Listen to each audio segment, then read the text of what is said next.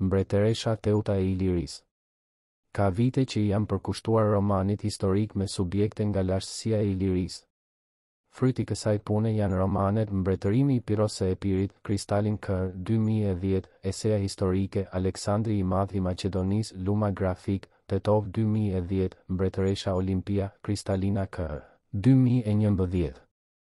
Kjo trilogji me një synim të vetëm, për të risjellë me mjetet e artit në dijeninë dhe vëmendjen e lexuesit të sotëm, veçanërisht brezit të ri, një epokë të lashtë historike, të vërtetë e të lavdishme të ilirëve, që janë paraardhësit tanë, që të dimë nga vijmë, kush jemi, ku shkojmë, ku janë rrënjët tona historike dhe, për t'i rikthyer vendit dhe popullit tonë heronjtë e vet, që të tjerët, fqinjët tanë ballkanas, përpiqen t'i bejnë të vetët, të shpallen trashëgimtarë dhe të krenohen me lavdinë e. Tyre. Sa ia kam arritur? Nuk mund ta them. Autori nuk mund të japë vlerësime për librat e veta. Kjo i takon lexuesit dhe kritikës. Fjalë të mira janë thënë.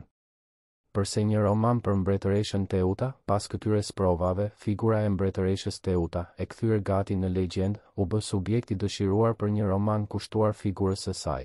si një vijim që do të plotësonte atë periudhë të lavdishme të Ilirisë nga trualli i së cilës, në periudhën e shtetformimeve dhe qytetërimit, kanë dalë në krye figura të shquara, bëmat e të cilëve, historia i përcjell deri në ditët tona, Glauku, Bardhyli, Pirrua, Pleurati, Agroni, Longari, Monuni, Genti, Batua, etj. Për të vijuar më vonë me Gjin Bua Shpatën, Depe Zenebishin, Skënderbeun e lavdishëm e deri te Ismail Qemali. vlen të vihet në dukje se midis tyre në lashtësi në vitet treqind e gjashtëdhjetë, dyqind e njëzet e tetë para erës së re, shquhen edhe tre personazhe femërore, mbretëreshat Olimpia që mbretëroi në Epir dhe Maqedoni, Deidamea në Epir dhe Teuta në Mbretërinë Ilire. Gra luftëtare, mendtare e humaniste të shquara nga trungu arbëroro-shqiptar, pati në vazhdimësi edhe më vonë, Bubulina, Elena Gjika, Nora, Shote Galica, Zonja Çurre e deri te shenjtorja Nënë Tereza, Gonxhe Bojaxhiu. Kjo vazhdimësi nuk është pa domethënie. Duhet të shënohet një fakt i veçantë, paraardhësit tanë ilirët ndryshe nga popujt e tyre fqinjë, grekët, maqedonasit, trakasit apo romakët që mbanin qëndrim përbuzës ndaj gruas dhe nuk lejonin që në fronin mbretëror të kurorëzohej një grua, ilirët e kishin të lejuar këtë të drejtë në kodin e tyre zakonor e trashëgimor. Është kjo një shenjë qytetarie dhe nderimi e vlerësimi për gruan ilire, për vendin e saj në familje e shoqëri, e cila kulmon me mbretërimin e Teutës. Ajo mbretëroi tre vjet, dyqind e tridhjetë, dyqind e njëzet e tetë p.e.r., në një kohë kur mbretëria ilire ishte në kulmin e fuqisë së saj.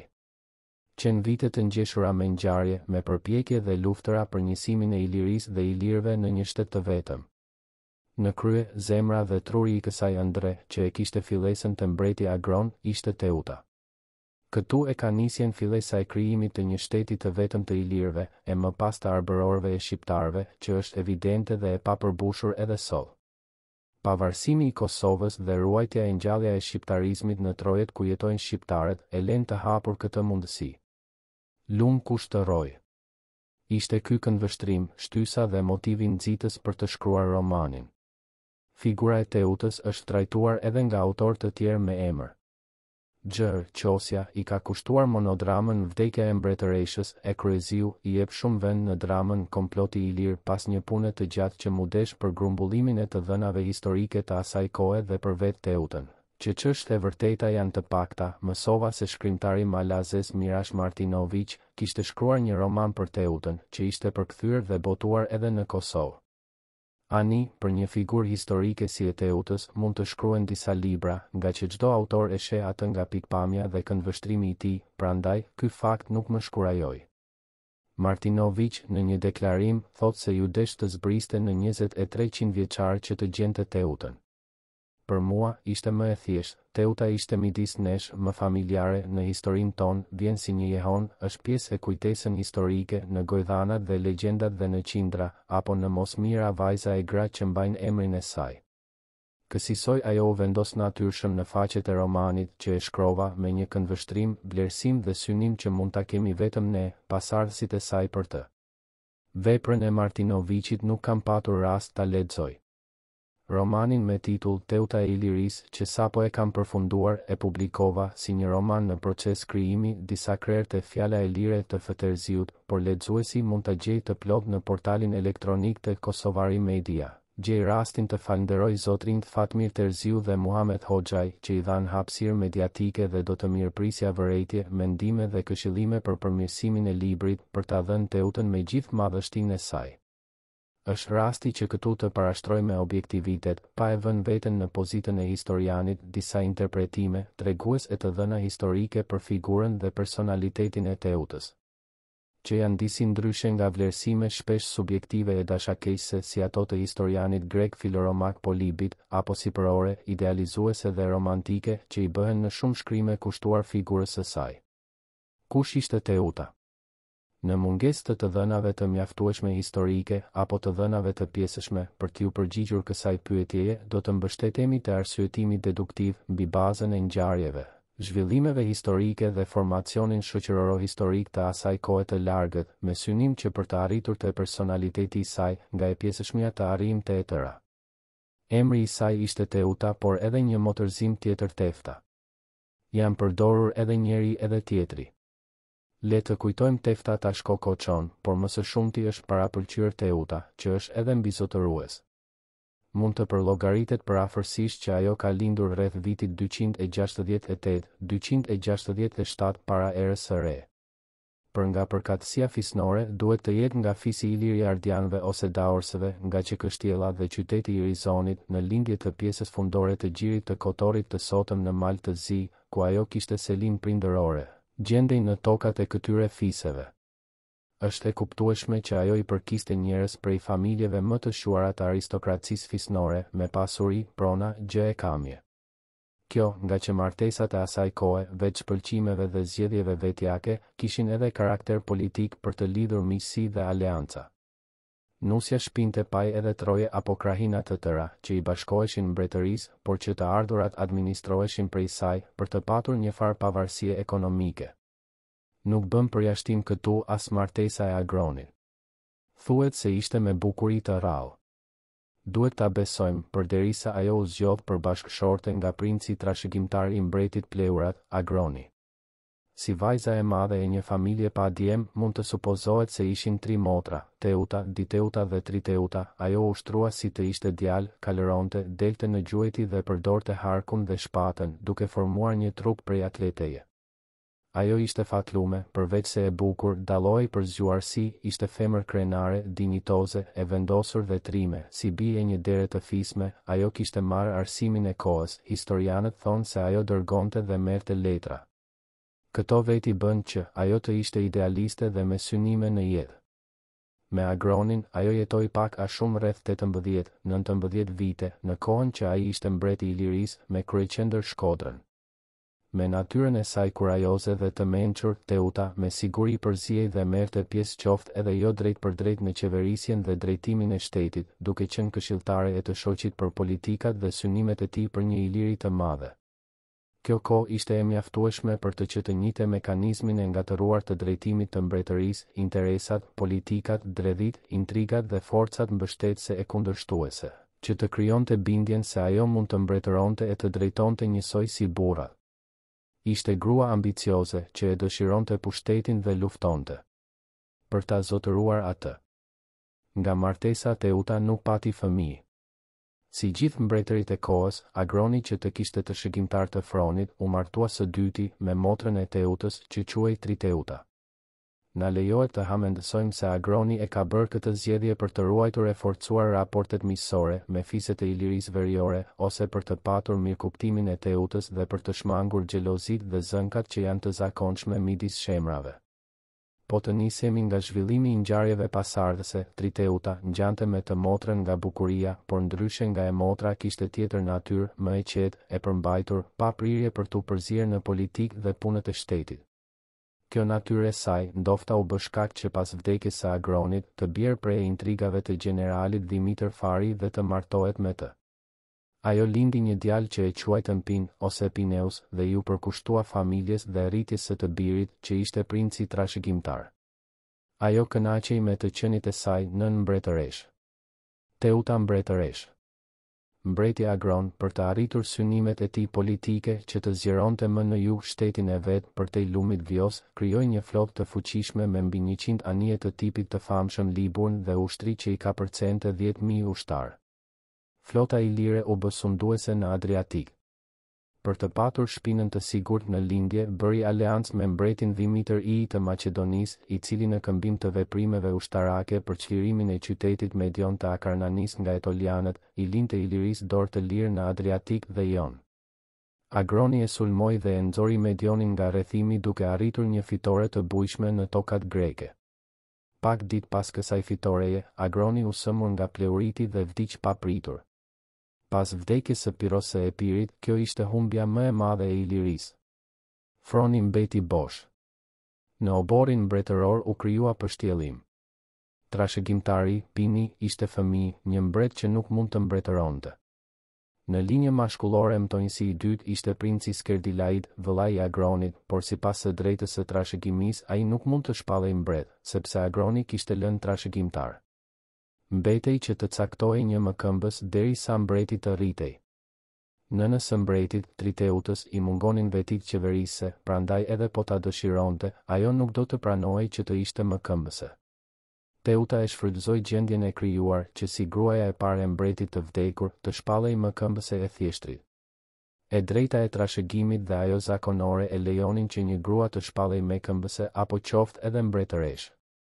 Teuta ndërkohë përdori gjithë ndikimin e saj që të bindte pleqësinë për aftësitë e saj qeverisëse dha e mori premtime në anëtarët e pleqësisë të quajtur miqtë e mbretit dhe siguroi përkrahjen e Skerdilaidit i cili kishte ndikim në parinë ardiane dhe pronarët e mëdhenj të tokave. Ajo i bindi ata se do të ruante dhe forconte shtetin e trashëguar, por do të luftonte për arritjen e ëndrrës së Agronit, për Ilirinë e madhe e të njësuar. Kjo do të thoshte më shumë hapësira, më shumë prona e skllevër, më shumë pasuri e pushtet. Këshilli familjar dhe i miqve, e shpalli Teutën mëkëmbëse të mbretit Pin. Ajo tashmë ishte mbretëreshë e Ilirisë. Veprimtaritë dhe arritjet e mbretëreshës Teuta. Për të qeverisur, Teuta krijoi këshillin e të urtëve, që ndryshe quhej miqtë e mbretit, prej tyre u caktuan dinjitarët e lartë të shtetit, në ngjashmëri me ministrat në qeveritë e ditëve tona. Në krye të ushtrisë vendosi Skerdilaidin, por duke ruajtur për vete të drejtën e komandantes së përgjithshme, që shpallte luftën dhe miratonte paqen. Një e drejtë mbretërore e kohës. Në politikën e brendshme dhe të jashtme, iu përmbajt asaj të paracaktuar nga mbreti Agron, aleancë me Maqedoninë, që ishte mbretëria më e fuqishme e kohës në Siujdhesën Ilirike, qëndrim të kujdesshëm ndaj Romës, fuqizim të ushtrisë dhe flotës, çlirim nga sundimi roman dhe vënie nën kontroll e bashkimin me mbretërinë e qyteteve bregdetare të Dyrrahut, Apollonisë dhe ujdhesës strategjike veriperëndimore të Isës që ishte koloni greke, por kontrollonte Adriatikun verior kundruall brigjeve italike. Qëllimi ishte që Adriatiku të mbetej thjesht një det i brendshëm Ilir. Synimi tjetër strategjik ishte zgjerimi në jug, duke dalë jashtë kufijve të shtetit, shkëputjen e Epirit nga aleanca etolo-ahejase, greke, detyrimi i Epirit për t'u lidhur në aleancë me mbretërinë ilire dhe vendosjen e kufirit të Ilirisë drejtpërsëdrejti me tokat greke deri në gjirin e Ambrakisë. Marrja e ujdhesës së Korkyrës shihej si një mundësi strategjike për sigurinë e jugut të Ilirisë. Siç shihet ishin synime ambicioze, të cilit iu përkushtua tërësisht dhe e bëri qëllim të jetës së saj. Arritja e tij do të krijonte kushtet e krijimit të Ilirisë së Madhe dhe do ta bënte Ilirinë fuqinë më të madhe e më të fuqishme të rajonin. Për të arritur këto synime, Teuta u tregua një mbretëreshë jo vetëm autoritare, por edhe reformatore. forcoi pushtetin qendror dhe u pakësoi të drejtat vendimmarrëse krerëve të fiseve të mëdhenj që ishin pjesë e mbretërisë duke i bërë ata më të varur, vuri nën kontroll prerjen dhe qarkullimin e monedhave në sasi të mjaftueshme e metale me vlerë për të siguruar tregëtinë dhe qarkullimin e mallrave, shpalli monopolin mbretëror mbi prodhimin dhe shpërndarjen e kripës dhe shfrytëzimin e minierave të arit, argjendit, hekurit dhe bakrit, ku angazhoi një numër të madh skllevërish. Për nevojat e luftës, ngriti punëtoritë për prodhimin e anijeve të famshme Liburne, nxiti prodhimin e armëve dhe pajisjeve për ushtrinë, zejtarinë dhe manifakturën dhe gjallëroi jetën ekonomike të qyteteve. Vuri kontrollin mbi eksportin e drithërave, siguroi rrugët e brendshme për të mbrojtur tregtarët nga kusaria etj. Në respekt të një tradite të vjetër, Teuta lejoi dhe nuk e ndaloi veprimtarinë e piratëve ilirë në detin Adriatik. Anijet pirate të ilirëve, sidomos ato të Liburnëve dhe Labeatëve, bënin zullume jo vetëm në Adriatik, por edhe thellë në Jon në brigjet greke, bile edhe në detin e Libisë. Pre e tyre ishin kryesisht anije tregtare të popujve fqinjë, përfshi edhe ato romake. Siç do ta shohim, kjo nuk mbeti pa pasoja. Për të krijuar një ide për gjithë sa u tha më sipër, na ndihmon kronika e shkurtër e veprimtarisë së Teutës gjatë tre viteve të mbretërimit të saj. Viti dyqind e tridhjetë e një p. erë aleanca me Maqedoninë, qëllimi, të siguronte krahun lindor nga rreziku maqedonas dhe të zbriste në jug të Ilirisë, në Epir, për të krijuar një shtet të madh që të përfshinte dhe Epirin. Lufta kundër Etolisë dhe Akaisë që kishin rrethuar qytetin Medion të Akarnanisë, aleate e Maqedonisë. Sulmi nën drejtimin e Agronit me njëqind anije dhe pesë mijë luftëtarë. Fitorja në Medion, fitorja pati jehonë të madhe pasi Etolët kishin ushtrinë më të fortë të Greqisë. Qëllimi ishte ndarja dhe izolimi i Epirit nga bota greke. Vdekja e Agronit disa ditë pas fitores nga pleuriti. Viti dyqind e tridhjetë p. erë Teuta u shpall mbretëreshë. U ruajt aleanca me Maqedoninë. Qëllimi, krijimi i një shteti të fuqishëm ilir nga Narona në veri deri në gjirin e Ambrakisë në jug. Pengesa ishte Epiri. Teuta urdhëroi luftën kundër Epirit si aleat i Etolëve dhe Ahejve. Angazhimi i flotës dhe këmbësorisë tokësore nën komandën e Skerdilaidit. Pushtimi i Foenikes, kryeqyteti i Epirit. U nënshkrua paqja me Epirin dhe ai, së toku me Akarnaninë u bënë aleatë të mbretërisë ilire. U arrit shkëputja e Epirit nga Etolët, aleanca me Akarnanët bëri të mundur krijimin e një kufiri të largët midis lidhjeve greke dhe shtetit ilir.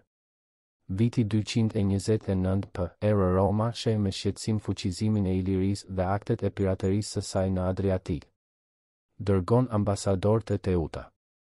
Ajo nuk duroi arrogancën si u sollën dhe kushtin që vunë. Njëri prej tyre, Gai, që e fyeu, me urdhër të Teutës u vra në det në anijen që e shpinte në Romë. Ky u bë shkak që Roma të përgatitej për luftë. Në pranverë, Teuta u përgatit për luftën e pritshme, qetësoi fiset që ishin shkëputur pas një sulmi të Dardanëve, e shpalli anëdetin tokë armike dha urdhër që të goditej çdo anije e huaj ose përpjekje për zbarkim. U përcaktuan pozicionet e rëndësishme ku mund të drejtoheshin romakët, Isa në veri, dy qytete bregdetare Dyrrahu e Apollonia dhe Korkyra në jug. Përpjekjet për pushtimin e Dyrrahut Apolonisë dhe Korkyrës dështuan, por u vunë nën rrethim dhe bllokadë. Lufta në Korkyrë, fitorja kundër flotës etolo-ahejase, pushtimi i ujdhesës së Paksosit dhe Korkyrës. Vendosja e garnizoneve ilire dhe flotës nën komandën e Dhimitër Farit. Adriatiku u kthye në det i mbyllur dalja në Mesdhe u bllokua nga flota ilire. Në vjeshtë, lufta e parë iliro-romake. Roma sulmoi me dyqind anije dhe njëzet mijë legjionarë, që ishin sa dyfishi i ushtrisë dhe flotës ilire. Flota dhe ushtria drejtoheshin nga dy konsujt Albino dhe Centumalo. Në fillim flota sulmoi Korkyrën. Dhimitër Fari e tradhëtoi mbretëreshën. Dorëzoi flotën dhe ishullin, pa luftë. Forcat e këmbësorisë dhe flota u bashkuan në anëdetin e Apollonisë, e morën atë, pastaj në Dyrrah dhe në anëdetin verior të Dalmacisë, ku i hoqën rrethimin Isës. Me romakët u bashkuan edhe krerët e fiseve të ultësirës bregdetare dhe prapatokave të Dyrrahut dhe Apollonisë. Flota e Ilirisë, e tradhëtuar dhe e shpërndarë qëllimisht nën këshillat e Dh. Farit nuk mundi të bënte qëndresë frontale. Megjithatë ushtria dhe flota bënë beteja të veçuara kundër romakëve dhe u shkaktuan humbje, më e madhja e të cilave ishte ajo e qytetit Nutria. Teuta duke dyshuar se Shkodra mund të binte në duart e romakëve, me gardën dhe besnikët e saj u strehua në qytetin e Rizonit ku ishte më e sigurt. Shkodra bëri qëndresë dhe nuk u pushtua nga romakët. Lufta vazhdoi gjashtë muaj. Me gjithë forcat e shumta, romakët nuk rrezikuan të hynin në rajonet e brendshme të Ilirisë, por pushtuan dhe vunë garnizone në bregdet dhe morën në mbrojtje disa fise duke krijuar një protektorat. Dhimitër Farit si shpërblim për tradhëtinë dhe shërbimet iu dha në qeverisje Isa, Fari, bregu dalmat deri në gjirin e Rizonit, sot Kotorrit. Viti dyqind e njëzet e tetë p erë në pamundësi për të vazhduar luftën, pasi kishin shterrur burimet ekonomike dhe njerëzore, u pranua kërkesa e Romës për paqe dhe u nis atje një dërgesë e ambasadorëve. Paqja që u arrit nën diktatin e Romës ishte nënshtruese. Nga Mbretëria Ilire mbeti pjesa nga veriu i Lezhës deri në gjirin e Rizonit që iu la për Mbretërinë Pinit u detyrua të derdhte tribute në të holla dhe të mos lundronte në jug të Lezhës me më tepër se dy anije të armatosura. Teuta dha dorëheqjen nga Mëkëmbësia, mbretërimi, mëkëmbës i mbretit u bë Dhimitër Fari që ishte njerku i Pinit, burri i Triteutës. Pas kësaj, historia hesht dhe nuk thotë se çfarë ndodhi me Teutën. Këtu mbaron edhe historia e saj. A gaboi dhe ku gaboi Teuta? Natyrisht, në tërë këtë veprimtari të dendur, të pasur me ngjarje dhe vendimmarrje, Teuta bëri edhe gabime, ndër to duhen shënuar, në fushën diplomatike, mbeti pa aleatë kur i duheshin, kur sulmoi Roma, Maqedonia dhe Epiri nuk e ndihmuan, mbeti e vetme. Nuk qe në gjendje të tërhiqte në anën e saj Dardaninë. bëri të pakënaqur disa nga prijësit e fiseve të mëdhenj me politikat për qëndërzimin e pushtetit dhe taksat, gaboi kur dha urdhër të vritej ambasadori romak, i dha besim dhe pushtet një ambiciozi e tradhtari si Dhimitër Fari, gaboi kur dëgjoi këshillat e tij për copëzimin dhe ndarjen në shumë fronte të flotës dhe ushtrisë etj. Në analizë të fundit, nuk ishin këto gabime që shkaktuan luftën me Romën dhe disfatën në këtë luftë. Roma, pas zotërimit të Perëndimit dhe fitores mbi Kartagjenën kishte kohë që i kishte hedhur sytë në lindje dhe do ta bënte luftën edhe pa ato gjoja shkaqe. Pozita gjeopolitike e Ilirisë si urë midis lindjes e Perëndimit bëri që ajo të ishte objektivi strategjik i Romës si kryeurë për sujdhesën ballkanike, pushtimin Maqedonisë, Greqisë, Trakisë, Dakisë, Bizantit dhe kalimin në Azinë e Vogël. Me gjithë qëndresën, fuqia romane ishte e papërballueshme, ajo i arriti synimet e saj perandorake. Megjithatë Iliria qëndroi, Romës iu desh tre luftëra për afro dyzet vjet që ta nënshtronte, derisa konsulli Paul Emili, rrënoi, vithisi e dogji shtatëdhjetë qytete. Edhe më pas shpirti liridashës ilir nuk u mposht dhe vijuan kryengritjet e njëpasnjëshme. Teuta u dha emrin e saj viteve që sundoi dhe drejtoi, ajo bëri histori dhe mbeti në histori.